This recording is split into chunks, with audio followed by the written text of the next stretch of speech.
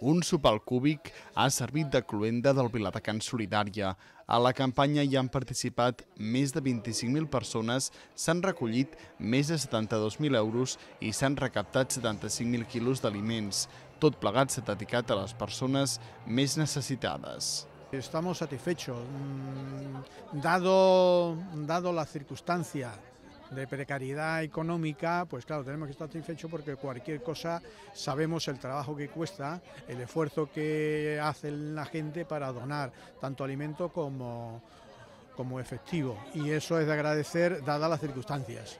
Totes les entitats, eh, el teixit associatiu, empresarial, han donat tot eh, de sí perquè, perquè puguem arribar a aquestes quantitats i, i la veritat és que estem molt, molt, molt contents. Durant el sopar s'han fet públiques les xifres i s'ha agraït el compromís de tota la ciutadania. De cara al futur es podria celebrar una altra campanya per atendre les necessitats. Que la mobilització que n'hi ha, que també l'èxit a l'hora de recollir, l'èxit a l'hora de recollir recursos, demostrant la capacitat que tenen les associacions de Viladecans i la solidaritat de la gent de Viladecans. Els més petits també han tingut el seu espai per treballar la solidaritat.